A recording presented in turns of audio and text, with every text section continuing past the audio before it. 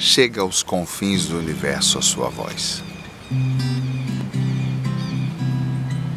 Chega aos confins do universo a sua voz.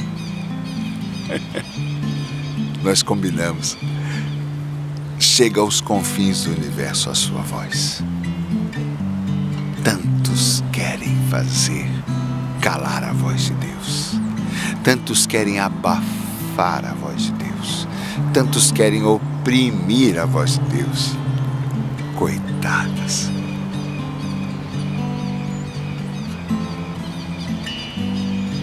Chega aos confins do universo a sua voz. Até os lugares mais extremos da nossa vida, ele chega.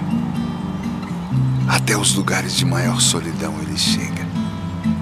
De maior incômodo, de maior dor, de maior prostração. Chega aos confins do universo sua voz.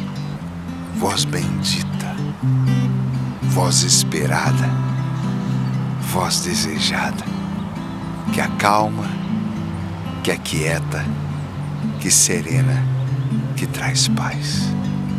Fala-me, Senhor. Que meus ouvidos possam ouvir, que meu coração possa ouvir, no silêncio, no deserto da minha existência, eu te possa ouvir, meu Senhor. Que tu chegues até os extremos da minha vida e que eu nunca esteja só, porque não me deixa só. Obrigado, Senhor. Continua nos falando.